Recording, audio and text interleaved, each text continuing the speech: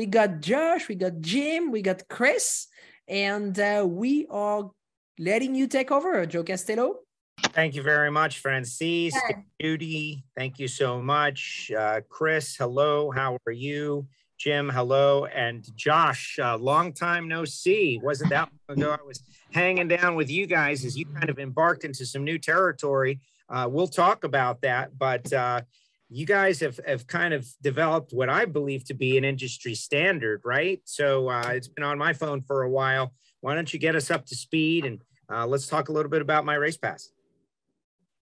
well, first of all, I want to say thanks for having us. I think I speak for Jim and Kris both, but um, we're excited to be a part of the ePartrade. We're excited to be a part of this industry week, and um, and I'm I'm out in Reno right now, actually at the promoters conference for the RPM show, and I just I'm up in the hotel room for you know taking a break from that so I could attend this, but. Uh, just excited to be here and and um and, and looking forward to it. And Joe, we, we hung out for about a week down there in Texas here not too long ago, and and um, that was a lot of fun. We'll talk more about that. But I just to give a little background on my race pass as a company. Um, we're a near 15 year old software company started by myself and two of my buddies, Ross Benek and Zach Kelmus. They're the software guys. They're the smart guys, right? They're the ones that make all the fun stuff happen. But uh, we started as a web development company building websites for race car drivers and racetracks, and that's evolved into a, our powerful My Race Pass network of websites that include drivers, fans, um, we've evolved into a race management software that uh, nearly set, or over 700 promoters across the U.S. rely on on a weekly basis, and uh, that all kind of co- comes into one spot with the My Race Pass app, which so many fans across the country um, utilize for their real-time lineups, results, live timing and scoring, driver bios. I mean, the list goes on and on.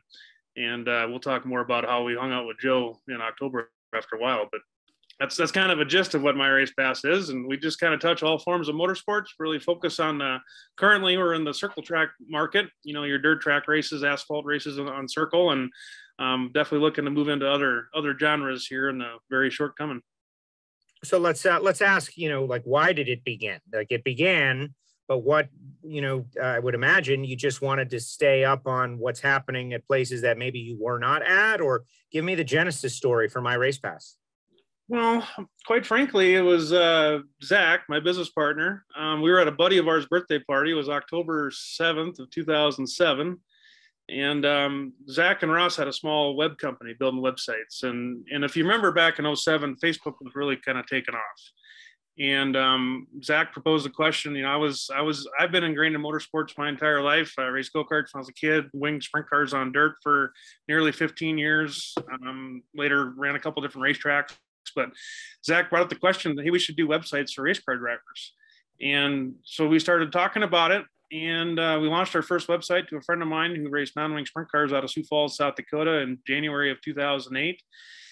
And from the from the very conception of my race pass, the idea behind it was to make it simple for racers um, and easy to to maintain their own content, to um, to have a database of information to where drivers can pull from, um, to generate stats efficiently and effectively and automatically. Um, so right from the get-go, we started my race pass, even though it wasn't called that. It was called driver websites. And over the times, um, Zach and Ross learned more and more about what we could do with technology in motorsports. And we started to come up with this. I mean, my race pass was the idea back on all of our meetings we had in late 07, early 08. But we didn't, we knew we couldn't just build that and it wasn't like Field of Dreams. You can't just build it and they'll show up. So it was, uh, we had to get a footprint in this industry, and we knew the best way to get a footprint is in this industry. In this industry is to solve some problems on the technology side with websites, providing a nice, effective, uh, economical platform for drivers to come on board, which later turned into racetracks coming on board for their websites and it just evolved from that joe we had um, once we started using uh, the, the idea of updating everything yourself um, so you don't have to rely on a web company. That's just evolved with how do we get the results on their website faster for like a racetrack. Well, then that what what spun that out was then was like, well, we should build a race management system to get the information sooner, quicker, faster, and be able to publish that out to the world. And and then that was kind of the birth of our race management system in late 2011. Um, from there, then the ideas really start start flowing.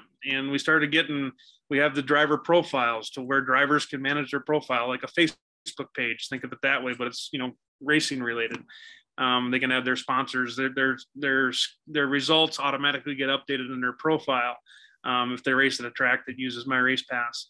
Um, so the ultimate goal was to have the app, and we knew we we everything you see in the app now we actually had on desktop um, years ago, but it wasn't until we launched the app in 2018 that people were like, "Oh, that's what those guys are up to." And it just brought everything together to get that instant gratification, what I call the Twitter effect. People want that information as fast as possible when it happens. I know I do. I want to know uh, everything as rapidly as is possible. And uh, Kris, I know you uh, you working with the clients out there, and Jim, obviously uh, in charge of advertising. I would love to hear your guys' uh, perspective on what's going on with my race pass as well. What have been some of your observations as this business has uh, grown, expanded, and taken off, and now become almost you know vital, mandatory to many people who want to keep track of their results and results from racers and racetracks around the country. Yeah, absolutely, and it's kind of what you mentioned there, Joe. Was uh, it's been come uh, become essential, essentially. Um, you know, I started five years ago with the company, and um, I had a goal uh, to, to, Josh to kind of get things moving in, a, in, a, direction as far as our growth goes, and, and um, I wanted to see certain things that maybe wouldn't be mentioned usually uh, in, in, goals. But um, you know, when I noticed that we were starting to be uh, screenshotted for the app uh, on social media and things like that, I knew we were growing. People were using us essentially, and then we, when you have drivers uh, going to promoters and telling them you got to get my race pass, that's when you know we made an impact on the facility and that organization. And to see that a lot from from drivers when you're when you're out talking at um, racetracks or when you're out talking um, at uh, trade show events and having drivers go, hey, how do I get my track to get my race pass?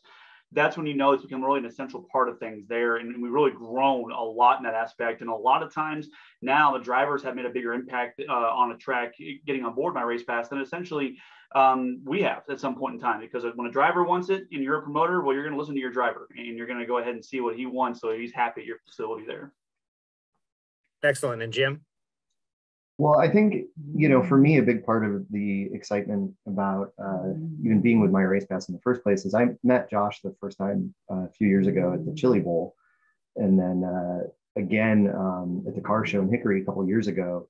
And when the opportunity came up for us to start talking about working together and seeing what I could do using my experience uh, in the marketing world to, to start to expand the reach for the digital ads division for my race pass was talking to other people in the industry that I've known for a long time and trust and said, Hey, you know, I, I see my race pass at the tracks I go to, I see them in places, but what are these guys about really having everybody that I talk to that I respect in the industry come back and say, oh, if you get a chance to work with these guys, you have to go to work with them. They're, they're on the cutting edge. There's a, there's a lot of really cool stuff that they're doing.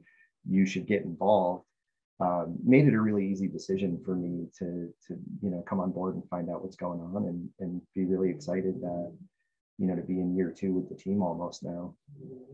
Excellent. And and what are some of those uh, benefits? Like i you know i flip on there to see uh, live timing results right? As simple as that. But let's say you're a promoter or you're a driver run the the gamut of what uh, what's possible right? Because uh, you know i'm a surface viewer but I'm sure there are many layers to it. And what is the feedback you get that uh, the promoters of tracks and the drivers uh, benefit most greatly? Um, yeah, so with that, we really think of ourselves as the ultimate racing resource in, in many different ways. Um, we can, you know, make a promoter's night easier. Uh, we can engage those fans for promoters, and we can also uh, help grow the organization as well too. Um, we kind of think of ourselves as the essential uh, suite of tools, um, all integrated kind of together to make the life of a promoter and, the staff uh, easier, more efficient, kind of run things there. Uh, our, our, race management program has become one of the, the top-notch programs uh, for racing and grassroots motorsports the past uh, seven years now, and it's really expanded on as far as checking drivers in and running your race not effectively, essentially. Um, but then also on top of that, um, with one of our bigger updates here recently, we, we offer online ticketing as well too for promoters. Um, and in the past uh, nine years, it was general admission, but we had one of our biggest updates of this past season was with reserve seating um, and a point of sale system as well too. And we really stressed the importance of expanding your product, uh, talking to promoters, expand your product, get your stuff out in front of your fans, let them know it's available, let them know you have things going on, and give them a chance to buy their stuff there um, when they want to. And, and I think the online ticketing portion was a huge aspect as well. And then also the fan engagement comes with the, uh, the My Race Pass app where they can see all that race day information. They can see the lineups, results entries, and they can play fantasy racing and buy tickets uh, on the app as well too.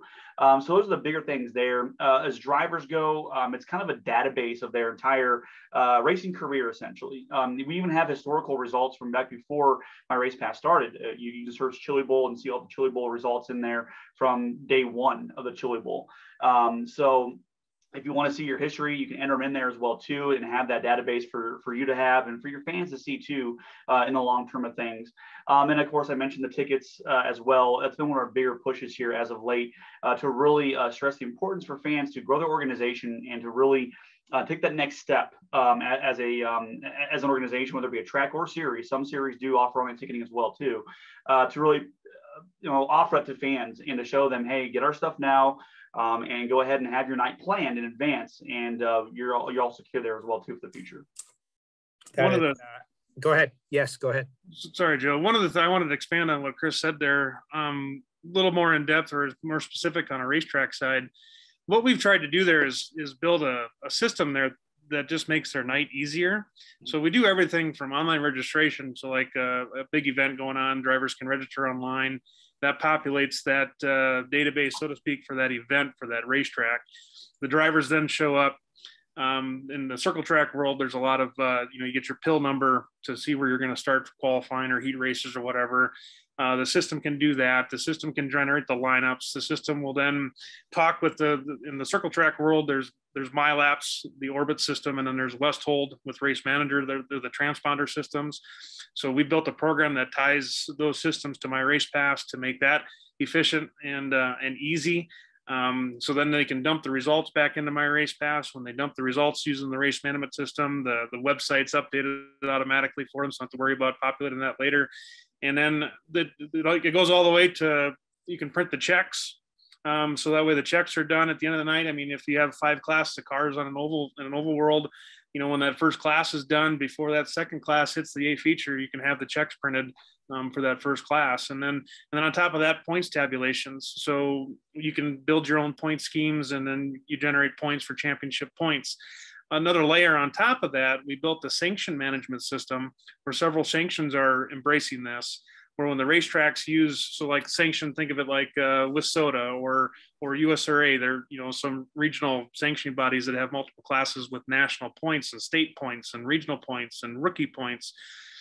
Now now they can basically send when all the tracks had their points it sends up to the sanctioning body and then the, the sanction points administrator just has to verify it and the national points for 100 racetracks could be updated on by noon on monday so we just try to streamline all of that to make it just that much easier for everybody. Where we've seen racetracks that went went from four or five or even six scores in the tower down to just one or two. Well, I, I got to be honest with you. Um, I've checked it out for lifetiming. I had no idea that it was capable of doing all of these things to help the track promoters with their functions from selling tickets to printing checks. You've you've created something that is um, you know, so multifaceted. It's helping people, you know, out the front gate and out the back gate as well. Exactly, and it's it's it's my it's our goal as a company. I mean, we got to remember. I, I stress been stressing this a lot lately in some of the different interviews and and talks we've been having. But the biggest thing we have to remember as an industry is um, it's the racetracks, right? I mean, the racetracks. We need to do everything we can to make them you know, profitable, successful. Because at the end of the day, if, without the racetracks, none of us would, our entire industry wouldn't exist. So one of our two big goals with my race pass is promoter related. It's create an efficient suite of tools that promoters can use and rely on to make their program more efficient, profitable. Um, and then number two is to give those same promoters ways to get their information out there, get more eyeballs on their product, engage those race fans. And that's why we've developed our fantasy racing platform. Um, that we've been testing with the last couple years. But those are our two main goals with my race pass, and it's all. I mean, we have we have goals for drivers. We want to take care of them too. We have goals for fans. We want to take care of them too. But us as an industry, it's the racetracks that makes this sport happen, and and we we can't forget that. And uh, how many promoters, racetracks do you currently have in your network? We just we just as far as tracks that use my race pass on a weekly basis, um, we just passed the number of 700. So that that number is quite large. Obviously, that's that's the circle tracks in the United States. An interesting statistic there, Joe, is uh, nearly 85% of the oval tracks in the U.S. have been touched by my race pass this season alone. Meaning either the track uses my race pass or a like a travel in series would come through and use my race pass. For example, the Lucas Oil Late Model Dirt Series, the World of Outlaw late models, World of Outlaw sprint cars, USMTS um, some of the, the dirt car series, um, all them top series utilize my race pass and, and, um, and that number's grown obviously. And it wouldn't, that wouldn't happen if we, obviously we got to have a good product for that um, to, in order to make that happen. But more importantly, over anything, uh, we have to have a, a really, really solid, strong team and we couldn't do anything that we do without the team that we have. What's interesting about us at My Race Pass is we're made up of um, series um, series administrators. We're made up of you know, like Jim, he's been in, involved in the d- digital marketing world for 25 plus years. Not the age of Jim. I'm sorry.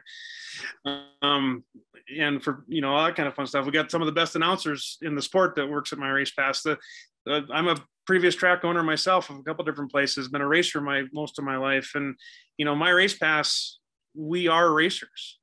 Racing is in our DNA, just as it is with everybody else. So that's that's one one one big one big piece I think with with my race pass is the quality team that we have.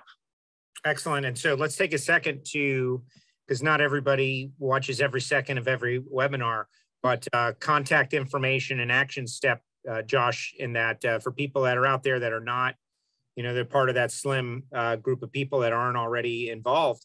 Um, you know, where do they go? Who do they talk to to find out more information and get involved or learn to use more features? Well, the best place to go is just our website, myracepass.com. Um, there's a, a, plethora of information on what we can do for drivers, what we can do for businesses, what we can do for the, the race fan, and what we can do obviously for the promoters. Um, the email address that best suits us for everything is just simply support at myracepass.com. That reaches about a 10 of us on our team. And um, but there's there's a lot of good quality information on our website, myracepass.com, and and um, we've we spent a lot of time keeping that up to date as fast. You know, we're in technology, so things change as you know fast. So we we try to stay on top of that. But myracepass.com is the best place to go. And what about future objectives and, and goals that you're? You know, it's amazing that you've gotten to this uh, point and you're so successful. But what about uh, keeping it going? What are you looking to do in the near future? Well, um, we're never going to forget where we're at in the circle track world. There's a lot of different things that we can do to make things better. Um, and uh, we want always want to improve the practices there. But one of the big things is, and it's no secret, that we are we are going to migrate and move into the drag racing world. Is where like where I met you, Joe, in, down at Texas Motorplex. Um, there's a lot of things in there. I mean, it's a different type of racing, obviously, from our perspective, but there are some very similar aspects of what we can do to help um, there are some we've been we've been developing and learning and studying, um, doing R and D work for almost four years for the drag racing world, and and we're not quite there yet, but we are on the on the other side too. Like what we had what we had going on at Texas Motorplex, Joe. You've seen that, and um, I'd like to get your response on it while we're on this call. But I mean, that's that's our next direction, and I know, and I'd like Jim to add add a piece to this too, because I know Jim's excited about us getting into drag racing as well. Jim. I'm very excited about us getting into drag racing. Um, it, it, expands a lot of the opportunities for other things that we have to do, uh, you know, in terms of talking about future growth that we have in addition to moving into the drag racing world. Part of it is, is the digital ad network that My Race Pass has and drag racing is going to be a very important part of that as we move into the future. As much as, like Josh said, we don't ever want to forget the core and we're never going to stray from it. Um, drag racing provides a lot of room for growth because it also moves us into the hot rod world and a lot more into um, general automotive racing and performance enthusiast, which is a much, you know, much more open pool of opportunity. Excellent. Uh, yes. Well, you know, all of a sudden I'm part of the webinar, right? I was there with Josh and we spent uh, a long time, eight days or so at the Texas Motorplex in Ennis at the Stampede to Speed event. It was amazing. And, and these guys are around there. And of course, you know, like what's, what's up with that? Um, and we had a couple of great conversations, but it was integrating the you know timing and scoring and putting it out on my race pass mobile app which is something that hasn't really happened native stuff on their own website etc but uh, i found it to be very interesting and I'd spent a lot of time going back and forth from what i uh, typically rely on to what was coming down uh, thanks to my race pass and i found it to be you know, very similar in terms of speed. Obviously the information was being pulled from the same place so it was all accurate. It was just a little bit of a learning curve as to where you know like NHRA's timing and scoring was more web based and kind of an endless scroll, right? Like if I want to go find previous runs, I go back up. Uh, if I want to look for other stuff, I go back down. But you guys had an interesting uh, deal going on, and I thought it was very promising, especially with what you're talking about. Um, you know, the professional level of racing, we're talking about 50 people, right? In the nitro ranks and in pro stock, 60, 80 people. But all of the Lucas Oil Series racers, and even bracket racers around the country that chase points in uh, you know Summit ET series. Boy, wouldn't it be great to be able to have your stats displayed to show that you won five races this year, you run it up two times, three semifinals, something like that. You're first in the points. Um, th- right now, I don't know that that is possible. Racers may tell you that. They may add it up. They may show you it's on a track's website. It's on Facebook. People taking copies of PDFs and posting them. But there's just a lack of, uh, you know, it's not quite as sexy as what you guys go, go, got going on. So my initial impression was that it's uh, it's a good thing, and there's a lot of potential with drag racing because there are so many drag racers out there at so many levels. I appreciate that feedback, Joe. That was, that was a lot of fun for me there. I mean, you know, I, am a circle track guy, uh, dirt specifically, and um, you know, drag racing. Uh, we've done a lot of research. We actually have uh, Michelle uh, Lackey up from Alaska Raceway Parks, a good friend of ours. Uh, we actually went up there somewhat selfishly because I wanted to go to Alaska, but um, we were able to learn learn a lot that night. And actually, I got I got to throw this plug out there because uh, I asked her because I wanted the driver perspective from it if, if she had a run with your brung class. So I, she said, yeah. So I entered my little uh, Nissan Rogue in the trophy class and ended up coming out on top. So that was, that was a lot of fun winning a trophy at Alaska Raceway Park. But my, my point is, is the, the, the drag racing world is definitely different.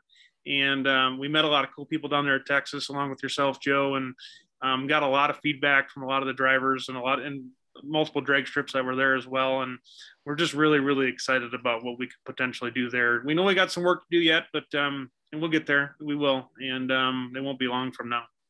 Right, and and it is. It's uh, one of those situations where there are so many things going on in drag racing. Not that there's only a couple things going on in circle track or dirt track racing. There's a lot goes on out there, but to unify all of it, it must be uh, challenging. There is a question out there from Logan uh, it's it says goals for broadcasters question mark. Uh, I, I, please elaborate on that and how that works together for Logan. So I feel like I'm taking all the questions, guys. I apologize, Jim and Kris. But yeah. so w- one of the other things that we do, um, uh, I think somewhere around over 100 broadcasters in the circle track world rely on our broadcast tools. What that is so joe in a in a circle track world you've seen like a nascar race where you got the ticker across the top of your running order. Um, you might have a splash screen at the start of the race that shows the lineups. Um, so we we provide those kind of tools that's very easy for a broadcaster to grab a hold of using a web link um, so they just need a link. So they might have a station. So like Dirt Vision, for example, with the World Racing Group, the World Outlaws, um, that link they, they they get that link from the score scoring tower on the premises on the facility at the racetrack, but they send that link to to Charlotte at their headquarters to be able to handle all their stuff. Um, but the, the ticker across the top, the lineups, the results, we even have fantasy standings. We'll have a news ticker that can pull from the network, and all that's powered by our MRP broadcast tools. Will that come in drag racing? Absolutely. We actually have a test version out there now, and I think uh, uh, there's been a couple different broadcasters that have been testing that for us. So that's that's exciting to to come with that. So definitely definitely good future in, in the hand on, on for broadcasters both in drag and, and in the circle track world.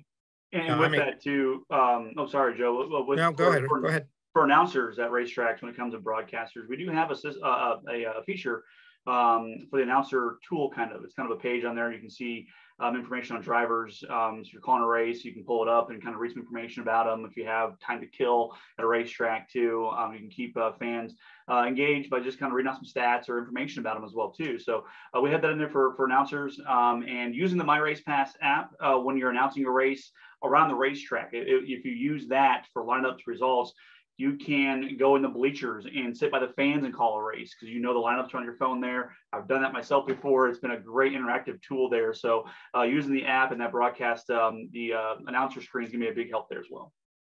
Excellent, guys. Give that information, the vital information. Once again, I see Francisque and Judy are back. Uh, very, very informative, and I wish you the best as you guys expand your business. There's a lot of great stuff out there, and uh, you know, would love racers would love to see their stats available and easy to track.